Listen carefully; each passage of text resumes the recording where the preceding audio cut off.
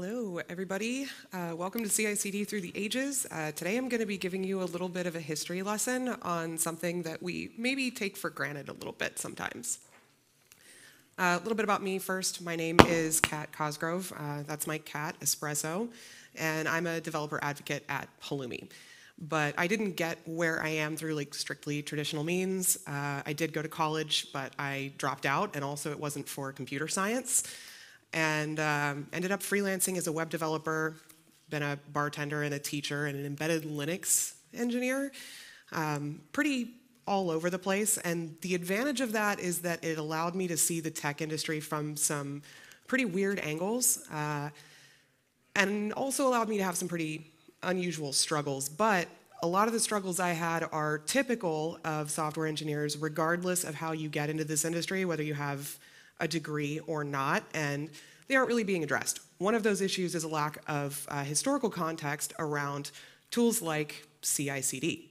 So that's why I give talks like this. Also, it's fun for people who have actually been around for a while to kind of take a stroll down memory lane sometimes. But if you want to get a hold of me later, uh, my Twitter handle is up there. You can also try emailing me at kat at pulumi.com, but I would not recommend trying to send me an email. I don't, I'm not good at responding to them. So today I'm talking about CI/CD and how it has changed over time. Um, these days we kind of talk about CI/CD like it's one thing, but it's two distinct pieces, and it's older than we often like to think of it as. Um, DevOps means that we kind of sometimes think of CI/CD as just as new as DevOps, as of having only been around for like a decade. But as you'll see soon, it is much older than that. So just in case there are people in the room who don't know, the CI is for continuous integration, and the CD can stand for either continuous delivery or continuous deployment, which I do think is a little annoying. So continuous integration has actually been a thing since the early 90s. It hasn't always been called that, and some of the implementation has changed, but the spirit has remained the same. We merge changes to source in smaller and more frequent increments, and we make sure that the project still passes tests and builds with those changes. And we make sure that our engineers are all working from the most recent version of source, right? Do that, and you don't end up with a whole bunch of merge conflicts or surprises when it comes time to build. Simple enough. But this was first proposed a long time ago in 1991 by a man named Grady Booch in his book, Object Oriented Analysis and Design with Applications. Some of y'all have probably read that. I have a copy of it. Um, it's a fun piece of computer application design history. Um, the Booch method advocated for more frequent uses of classes and objects in programming in order to simplify design. But his version of continuous integration did not suggest releasing multiple times a day. In 1997, we got extreme programming, and it built on the Booch method by taking that next step and advocating for releasing multiple times a day. This kind of changed the game. It was a, a big surge in the way we develop and release software.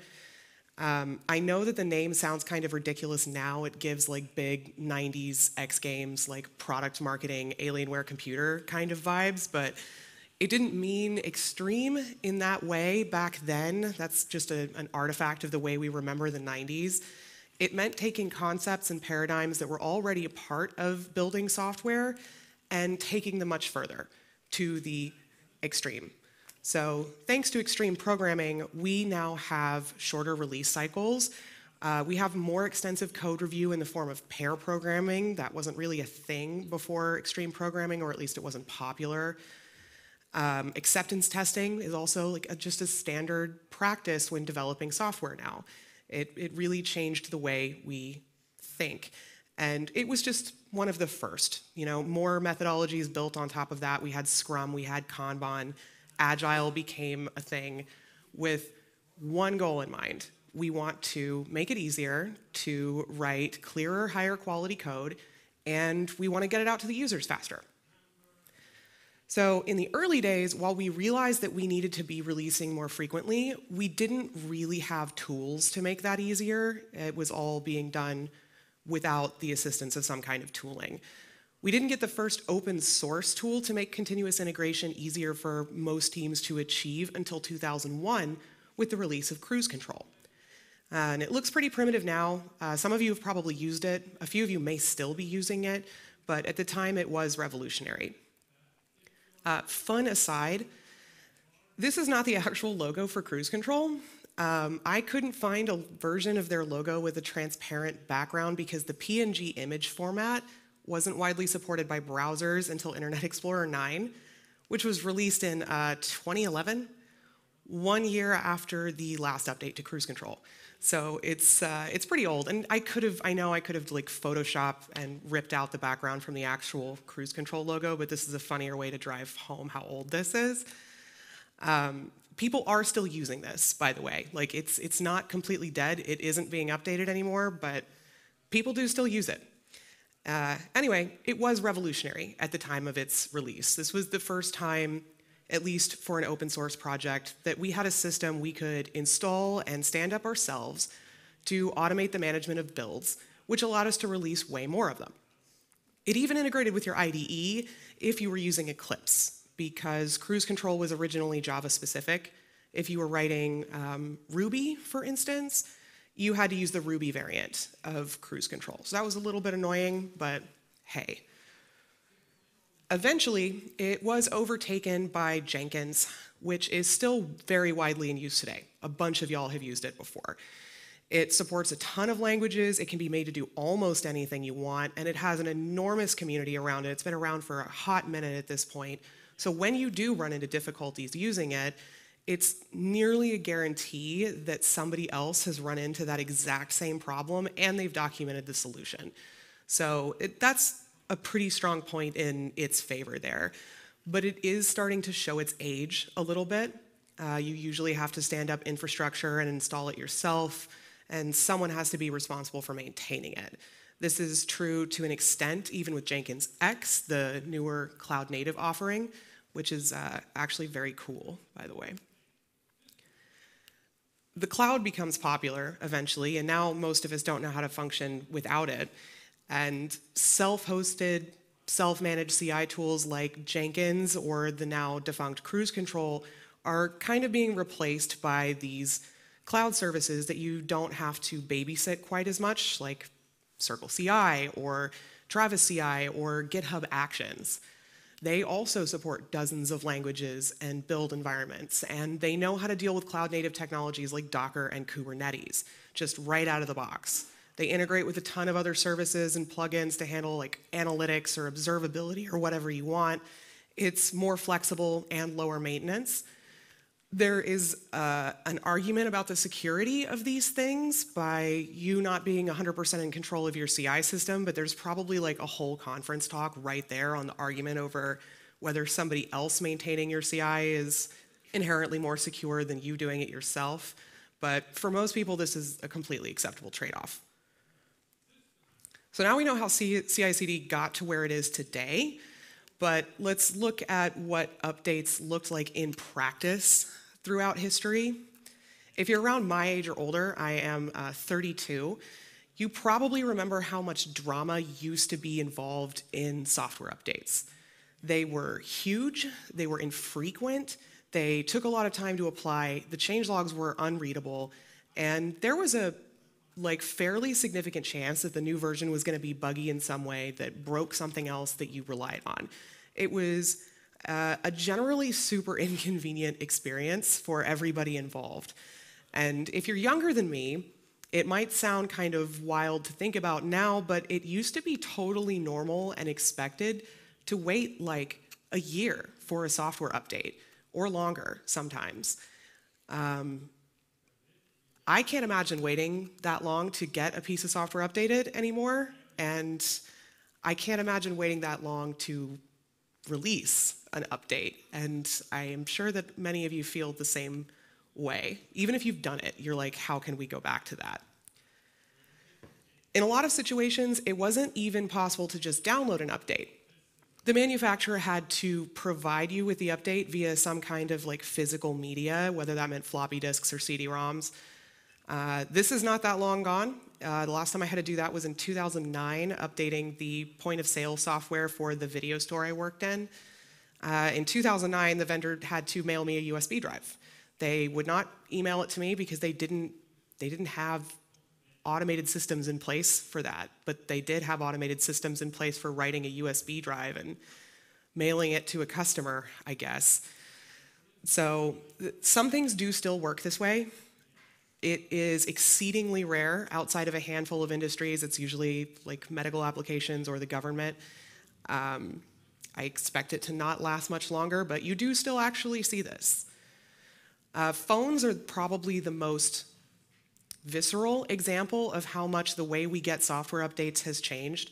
In the 90s, if you had a phone that didn't have like Snake on it, or Tetris or whatever, and you wanted Snake or Tetris on your phone, there was no way to update your phone to get that game. You could not just download it. You bought a new phone. Like you just you just got a whole new phone, right? And eventually phones did get better at this. Obviously, they got smarter, but updates still required plugging your phone into a computer and interacting with some proprietary piece of software from LG or Apple or whatever to apply your update. It was kind of time consuming. Uh, cloud storage wasn't ubiquitous yet, so data transfers when you upgraded to a new phone were also done via a physical cable, either by backing up your old phone to your computer and restoring it to the new phone, or for a hot second a few years ago, there was uh, phones would come packaged with a cable to plug like the old phone into the new phone and do that. And now it's something we don't think about. We don't think about this at all. When you switch phones, all of your contacts and your photos and your apps and whatever else are just there. There's some transfer time, but you don't actually have to do anything but log into your Apple account or your Google account and it just goes for you. And the same goes for the software updates on your phone. Does anybody know um, what version the Twitter app is on your phone right now? Does anybody remember the last time you actually approved an update for an application on your phone that wasn't your phone's operating system? Yeah, we don't pay attention to it anymore. It happens automatically at this point. Uh, some people, of course, do still like force their phone to request permission for updates, but all of your phones probably just update automatically somewhere between like 1 and 3 in the morning if it's plugged in and you're not using it and we just don't we don't notice anymore. It's probably updating your Twitter app three or four times a week, and you have no idea. We've gone from something that takes more than a year to get an update out, and it's a whole big to do every single time, to something that we don't notice, and it happens multiple times a week, multiple times a day. We've gotten so much better at this over time, and it's truly incredible, at least to me because I don't want to have to worry about this stuff anymore. So to wrap things up, CI/CD is two things. It's continuous integration and continuous deployment or continuous delivery. We just refer to them together now because one doesn't really work in context of DevOps without the other. You kind of you need to have both pieces of the puzzle. And it's given us quite a lot. It's, it's been here for longer than we like to think about. We do like to think about it like it's about as young as DevOps, but it's not. It's almost as old as me. And it's changed a lot over the years. It's gone from an idea in a book in 1991 to multiple programming methodologies and paradigms and survived all of them. And over time, it's given us a lot of tools and concepts that we think of as integral to DevOps that wouldn't exist without CI/CD as a background. We didn't just get more frequent releases and not caring about what version of the Twitter app is on our phone. We also got better metrics. We got observability tools. We got tracing, a whole host of security tools that all work inside of your CI CD system and enable those faster, cleaner releases that we don't really notice anymore, which is pretty dope thank you for coming to my lightning talk on a walk through the history of CICD.